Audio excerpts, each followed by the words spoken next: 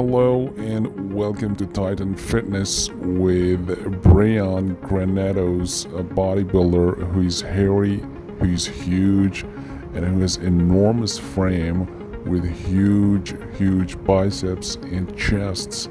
This guy absolutely loves uh, to be always on the beach, so that's the reason why he loves to build mass rather than being shredded. So he always is uh, having a huge, you know, huge uh, muscle size and a bulky physique.